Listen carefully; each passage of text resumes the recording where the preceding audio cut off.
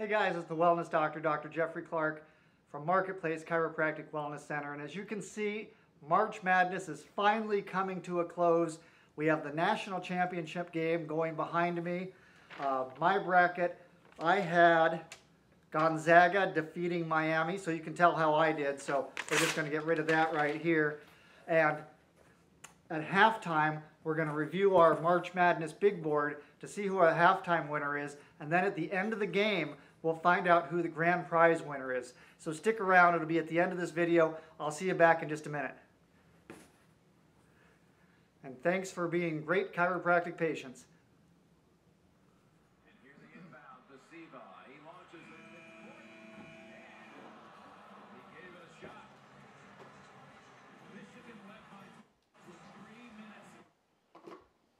Wow, that was an insane end of the first half.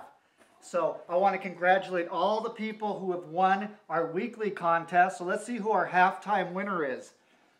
Louisville, 37, and Michigan, 38. So the winner is Susan B. Hey, Susan, congratulations. You're our halftime winner. I'll be back with more prizes at the end of the game, end of the second half.